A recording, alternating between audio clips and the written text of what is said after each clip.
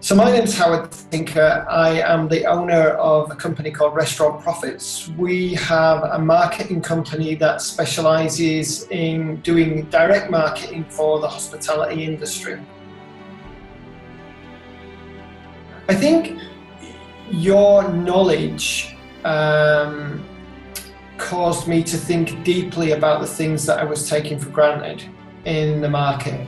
So I feel very comfortable in, in looking at going into the market I'm going into. And through some of the questions you asked me, I really I realized some of my comfort was naivety.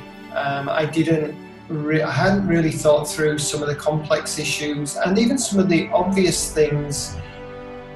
I was just taking for granted everything would work out instead of thinking about it deeply. And um, because of the way you questioned that, and because of your previous experience, it made me think deeply and made, made me analyze whether or not I could indeed, or we could indeed, make a profit from going into that market.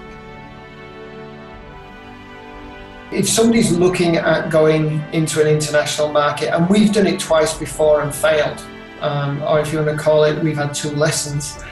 Um, if we'd have met you before then, uh, we'd have certainly saved a lot of money in doing so. So that's why.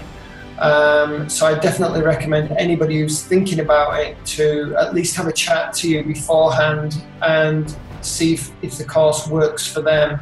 But the small investment in joining the course is a lot less than what it cost us in experience to learn those lessons. Well, I am now going into another market, so this is my third go, and I feel confident in doing so because of the work that we've done together.